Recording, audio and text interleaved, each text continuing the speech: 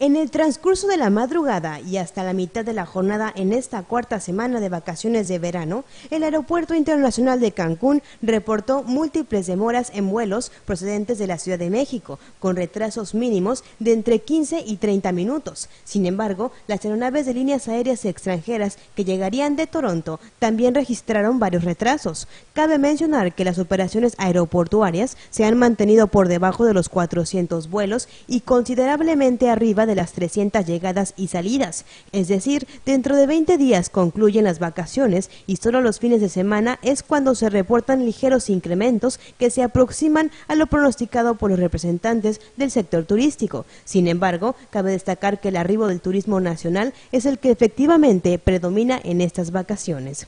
Por otro lado, en la terminal aérea de Cancún, el dólar bajó en su compra a 12.96 pesos y se mantuvo en 13.46 pesos a la venta, mientras que el euro igual bajó a 16.11 a la compra y 16.56 a la venta. En la cámara, Ricardo Vallejo, para Nutrición, Linda Gua.